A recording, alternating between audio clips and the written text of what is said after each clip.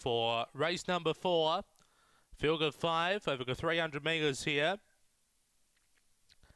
Second division of the grade six, 290, number four, Lucky Lucas for Southeastern Visitor. For Tracy Price,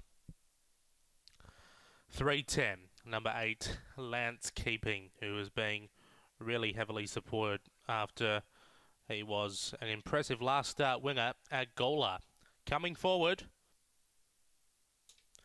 this is race number four. 290 number four, Lucky Lucas. And we are almost right to go. Track being cleared. There's the light. Set to race. Race number four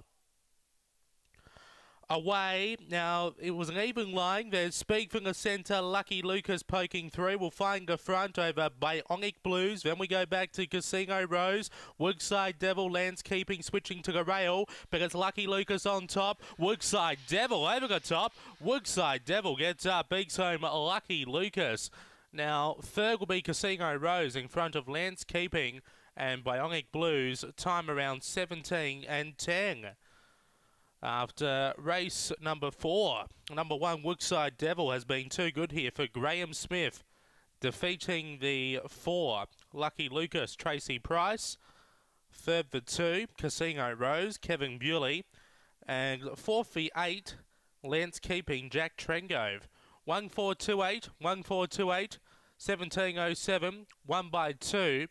They went 445 early 1428. That run home in 6.43 after race 4, Murray Bridge.